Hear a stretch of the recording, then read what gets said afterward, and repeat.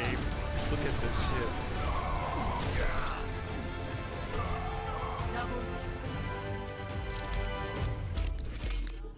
Are you kidding me? Yeah. What the fuck? that was the dumbest charge I've ever